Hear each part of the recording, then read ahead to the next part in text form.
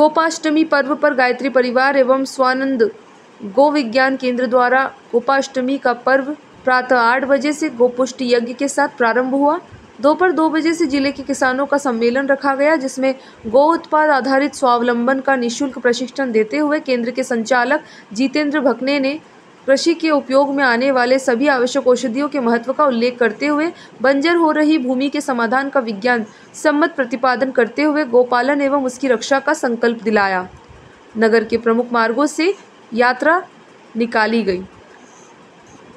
तेंदुखेड़ा से पतिराम पटेल की रिपोर्ट।